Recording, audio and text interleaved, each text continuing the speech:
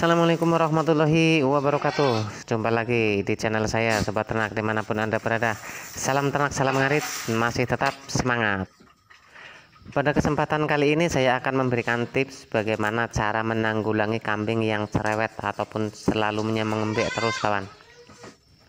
Tetapi kita juga perlu memahaminya. Kenapa kambing kita itu selalu mengembek terus Ataupun selalu cerewet apakah cerewetnya itu karena lapar ataukah karena sakit ataukah karena kurang nyaman di tempatnya?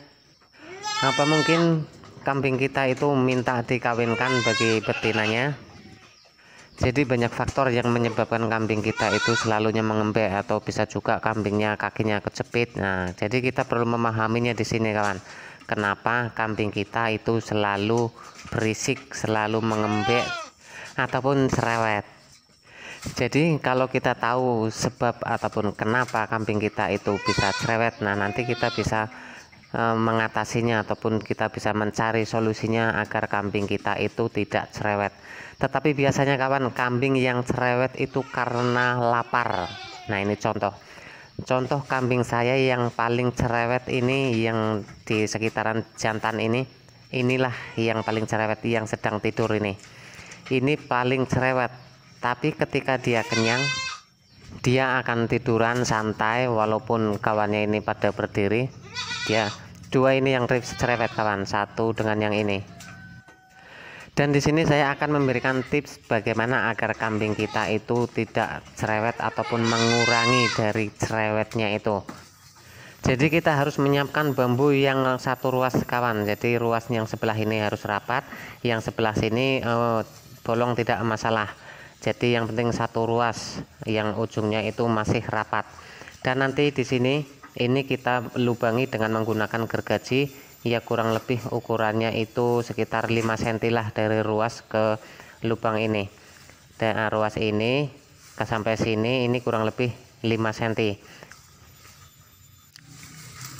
dan nanti kita gantungkan di pagar seperti ini kawan kalau bentuknya terserah mau seperti apa yang penting ujungnya sini ujungnya rapat. Nah ini ujungnya rapat. Kemudian kita lubangi tadi itu dilubangi dengan menggunakan gergaji. Dan ini diisi dengan garam. Bisa kita menambahkannya dengan tetes ataupun molase dan juga kita bisa menambahkannya dengan eh, serbuk premix ataupun mineral tetapi jangan dicampurkan dengan air kawan. Karena kalau dicampurkan dengan air nah nanti kita masukkannya lewat sini. Kalau kita masukkannya itu dicampur dengan air itu akan mencair. Ketika dijilat oleh kambing itu akan mudah tumpah. Jadi garam kita masukkan begitu saja nanti dia akan mencair sendiri dan dia akan meresap melalui lubang yang kita buat itu Nah jadi cara kerjanya seperti ini kawan. Ketika pakan di palungan itu sudah habis ataupun tinggal sisa-sisanya itu kambing sudah lapar atau sudah kepingin makan tetapi belum waktunya kita berikan pakan. Nah di saat itulah kambing itu biasanya cerewet ataupun mengembek karena minta makan tetapi belum waktunya kita kasih pakan Nah, jadi dengan adanya bambu yang kita isi dengan garam itu tadi, dia akan menjilati bambu itu, kawan. Jadi yang pertama itu fungsinya sebagai penambah mineral untuk kambing kita. Ini e, cara yang cukup irit ataupun praktis, kawan, karena kita tidak usah membeli mineral block. Kita bisa menggunakan seperti ini. Dan yang kedua itu mengurangi kambing yang cerewet di saat kambing itu lapar karena pakan yang di palungan itu sudah habis. Dan cara ini lumayan efektif kawan untuk mengurangi kambing-kambing kita yang cerewet. Akan tetapi apakah cukup hanya dengan itu saja kawan? Tentu saja tidak kawan. Karena kambing ini makhluk hidup seperti halnya kita.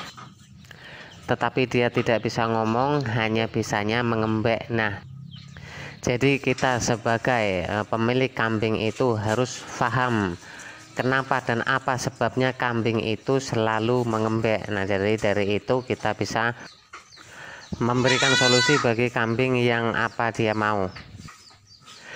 Tapi saya yakin sekali kambing yang cerewet itu karena lapar kawan tapi ada juga yang sudah dikasih pakan tetapi dia masih tetap cerewet. Nah mungkin dia tidak nyaman di tempatnya itu bisa jadi. Dan juga mungkin dia merasakan ada hal yang sakit tetapi kan kita tidak tahu apa yang dia rasakan makanya kita harus memahaminya dari kambing-kambing kita ini kawan. Apalagi indukan yang sedang menyusui anak satu bulan itu memang cerewet kawan. Biasanya ketika hamil ataupun masih darahnya itu pendiam ketika menyusui dia akan tambah cerewet. Makanya porsi makannya itu perlu kita tambahkan lagi agar dia kenyang. Dan dia merasa kenyang ya udah dia diam lagi. Dan yang kedua cerewetnya ini karena kalau ada orang asing yang berada di sekitaran kandang yang berada di luar kandang itu ada orang pasti dia mbak mbak mbak mbak ya Nah, berarti ada eh, segi positifnya juga kan kawan dari kambing yang mengembek itu. Makanya kita jangan selalu gusar dengan kambing yang mengembek itu ataupun yang cerewet. Terus yang kedua coba ini kalau kambing kita misalnya kakinya kecepit tetapi kambing itu diam saja tidak mau ngembek. Terus besoknya kita lihat kakinya sudah patah. Coba siapa yang rugi coba? Nah, jadi kita ambil segi positifnya saja kawan. Jangan kita langsung gusar terus kita emosi e, membawa kayu untuk memukul kambing itu jangan kawan karena e, mengembek itu ya ada juga segi positifnya kawan. Jadi itu saja kawan video saya kali ini mudah-mudahan bermanfaat. Yang baru menemukan channel saya jangan lupa dukungannya untuk like, komen dan tekan tombol subscribe-nya agar kita tetap bisa belajar bersama tentang peternakan kambing kawan. Salam ternak, salam ngarit, pokoknya masih tetap semangat. Assalamualaikum warahmatullahi wabarakatuh.